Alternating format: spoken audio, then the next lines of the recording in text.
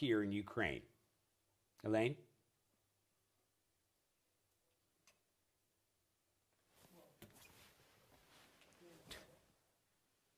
What happened? What the hell was that?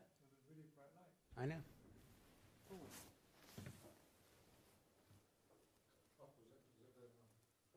I don't know. It's almost like lightning. Because it's a big flash. And then,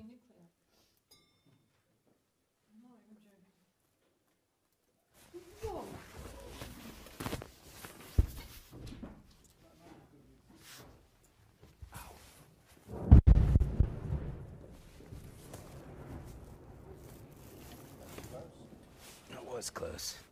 Close enough to see the flash.